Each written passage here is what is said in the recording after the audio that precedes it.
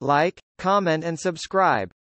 I tested nine gadgets that think different by Mr. Who's the Boss. Let's see what this means. Because I, I mean, I've never seen anything like it. This is a bike helmet with a twist. You wear it around your neck, and if you ever have a dramatic fall, this thing can detect your motion, and it apparently inflates a full-on airbag around your head. motion. This is a bike helmet with a twist. You wear it around your neck, and if you ever have a dramatic fall, this thing can detect your motion, and it apparently around inflates a full-on airbag around your head. Hybrid. What?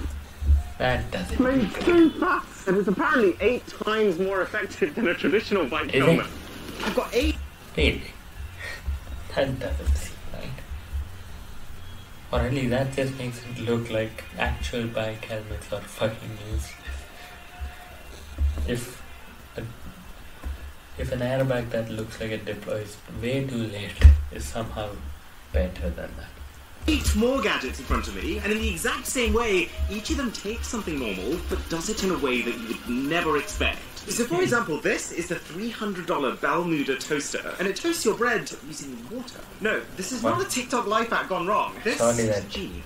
So it should just be a case of popping the Doesn't bread it? inside, adding the water with this adorable little What? cup, choosing the type of bread that I'm toasting, and then setting the timer. Oh, this is satisfying. Very pleasant bit of engineering. The toaster Is it then going to boil that water, turn it into steam, and pass that steam over our bread. The steam then forms like a, a layer of moisture around it. toast? Because moisture heats up faster than air, this can very quickly toast the bread's surface, forming a crispy layer, Really? leaving the inside protected and fluffy. Can't wait to taste this little surprising. stuff. And while we wait for it, next up in this almost sci-fi looking package is a keyboard.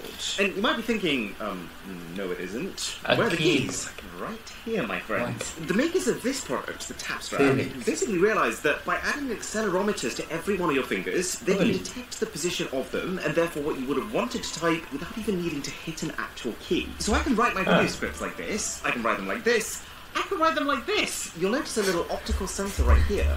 So, someone's wearing That's this mouse. So and just by moving your thumb along the surface, you are moving your cursor. And then the Okay. cherry on top, if my finger guns my iPad, I promise you, this is not a joke. The tap strap will realize that I want it to become a pointer. It will switch the sensors Ah. that it's using to measure movement, Ah.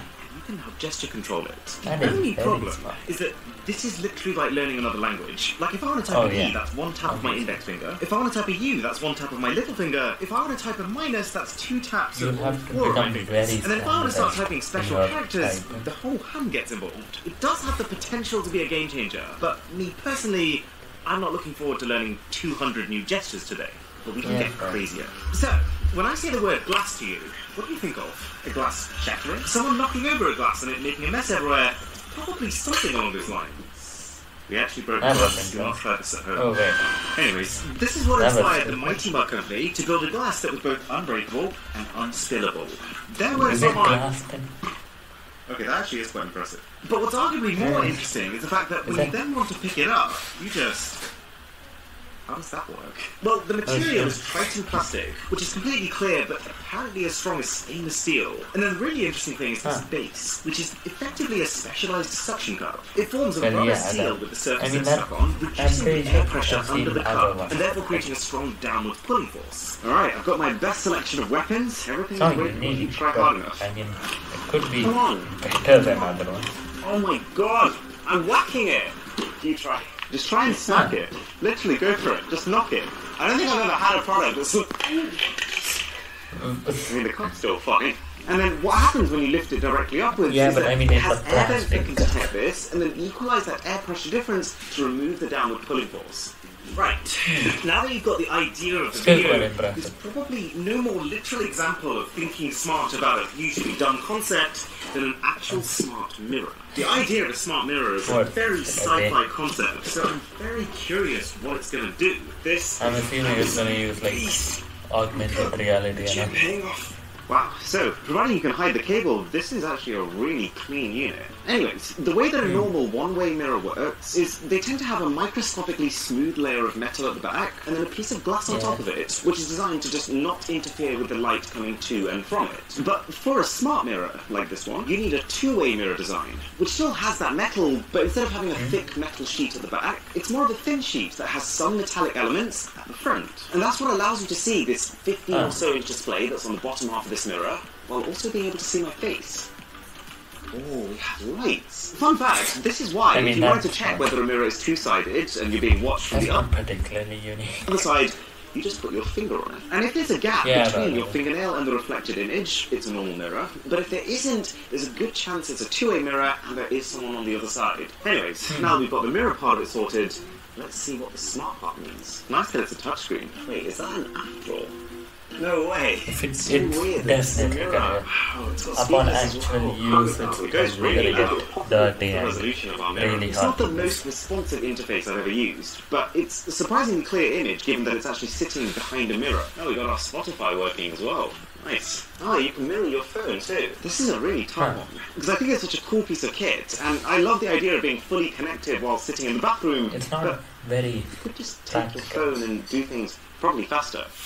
This next thing, the stem player, is absolutely fascinating. So, it's a speaker, but you can probably already tell by the way it's presented and the way the thing looks that it's coming at it from a different angle. Funnily oh, Yes, enough, this thing is actually a collab between Kano Computing, this really wacky company who creates these interesting life solutions with their products, like Yeah. the flexible webcam and the DIY headphones, and then DIY Kanye. West, who I imagine based on his ridiculous shoe lineup, probably mm-hmm.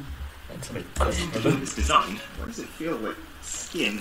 But what this tiny, slightly gross thing allows you to do is to remix any song you play through it on the fly in real time. It actually uses artificial In intelligence to break any track you put into it Remix into four parts or stems, like vocals, bass, drums, instrumentals, and then it gives you individual control over each of them. I have the LED lights on front. You just slide your finger on these pads and individual parts of the song will change. You can like speed up individual bits and loop certain parts of the track. So for example, this slider here is vocals. No So if I drag that and it gets rid of the vocals. Seeing that happen in real time is kind of crazy. It kind of feels like it's making me the conductor of an orchestra, and I can tell individual band members to quieten down. Let's get rid of the instrumental track. And then when you're done listening, but there is one major catch. For this track splitting to work, you have to upload your music onto their site, Oh. let it process it, then download it and put it onto the player. Which would have I been mean- fine back when everyone was storing their MP3s, but I haven't done that for about seven years. Because my entire library is on still Spotify, which this does not support. Right, this one is about as low tech as it gets. I mean, I was gonna say, to be fair, it probably wouldn't work with every single It's song. plant pot, but it's earned its place in this video thanks to a very clever bit of thinking.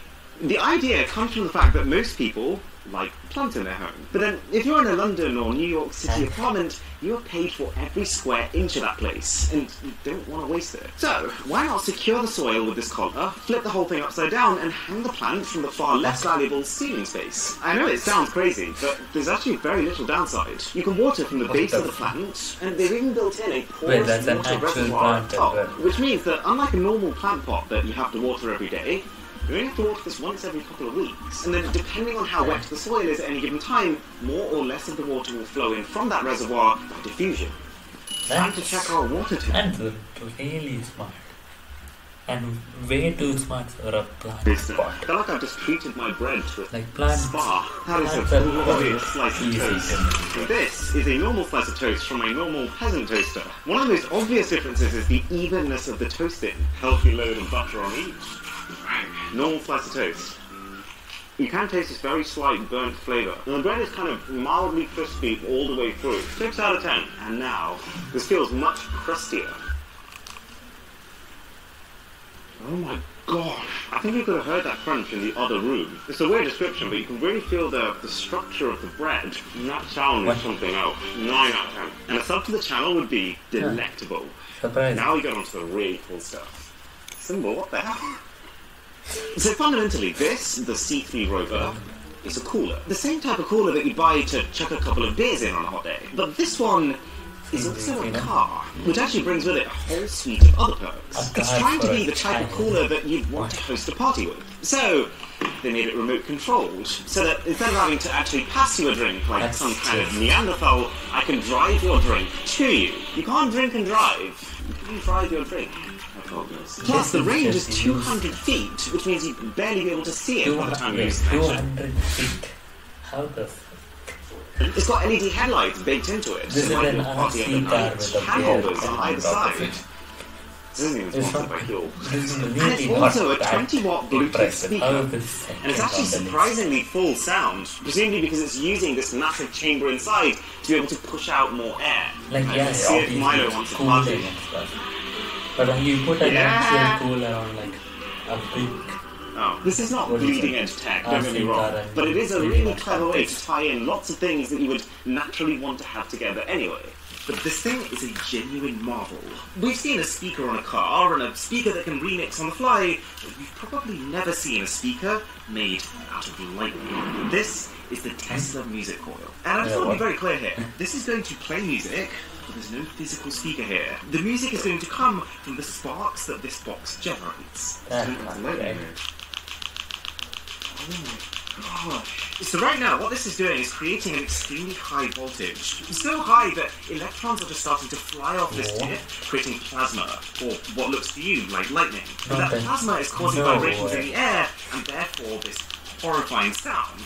This does not feel safe. You can actually turn Yeah, I was it up using this slider here. feel like oh my it's going to God. blast somehow I don't again. feel safe. But this is where it gets insane. You can flip this tab here to turn it into music mode, which allows it to pair to my phone via Bluetooth, and then when I play a song, it will try to recreate that track using plasma as the instrument. Here goes nothing. No way.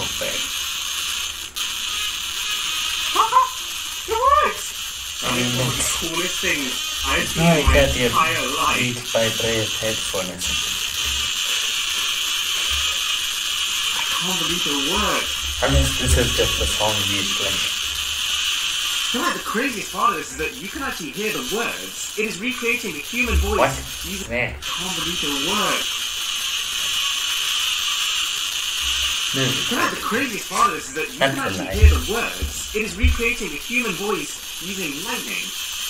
Oh, you know what else looks different? The Rhino Shield Solid Suit phone case. Of course, it's a sponsor. I am not paid for it. Sorry enough, video though. Those were nine gadgets that think different. Personal favorite would probably be. Hmm. Which. uh, I really like the remixable speakers. Those are quite good. Other than that, the mirror like cool in design, not cool in real life, probably. Other than that, I mean, the other ones were mainly futuristic looking. But anyway, quite good video.